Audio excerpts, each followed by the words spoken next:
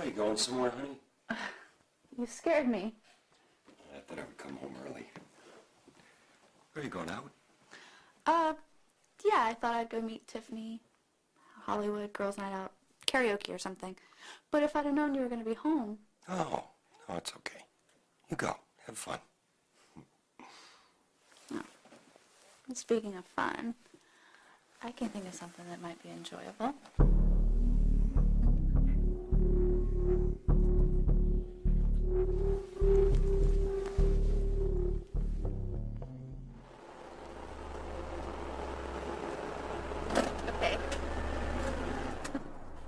Tonight, glitter at 10.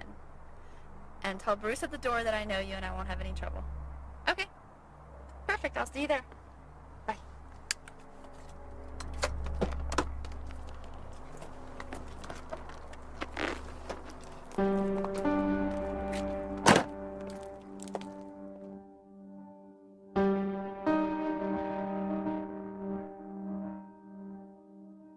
Most little girls dream of landing their Prince Charming. Having a couple kids, a nice house, the white picket fence. You know, the whole works. But not me. I knew from an early age that all of that was bullshit. A fairy tale little girls are spoon fed by their own unhappy parents.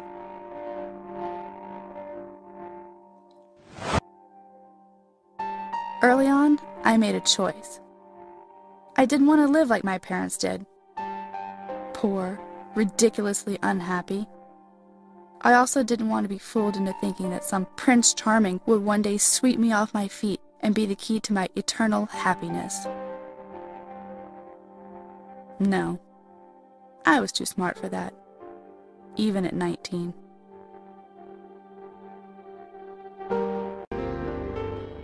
Ever since I can remember, I knew exactly what I wanted.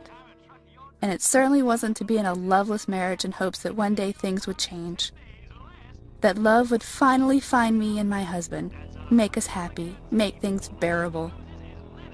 I didn't want to be a wife, a mom, have the proverbial white picket fence. No, I had a better plan.